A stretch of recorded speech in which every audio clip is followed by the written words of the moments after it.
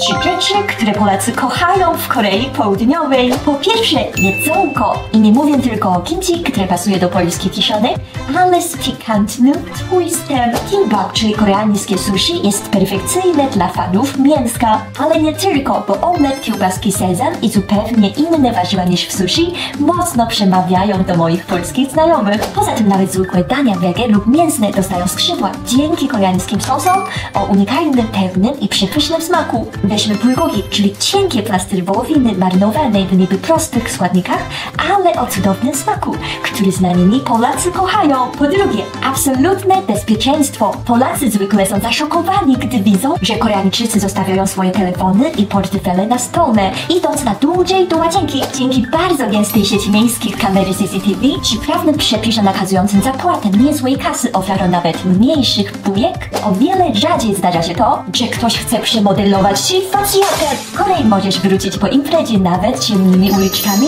raczej bez strachu. Po trzecie, bodaj styl.